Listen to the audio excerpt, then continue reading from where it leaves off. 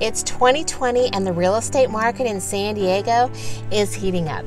What does that mean to you? Well, first of all, housing prices are still up 4.8% as compared to this time last year. And inventory is down 33%, which is driving a seller's market. And there's lots of activity with sales climbing 24.1%. And this past week, the mortgage rates were the lowest that they've been for three months. So if you're a buyer, this is a good time to lock in a low. And what's interesting is that the number of mortgage applications are up, which tell you that more people are getting ready to buy a home. And with the low rates, it's also a good time to evaluate if refinancing can save you money. I work with some great lenders, so let me know if you'd like an introduction. If you have any questions, please message or text me. I'm Wendy Carter, and thanks so much for watching.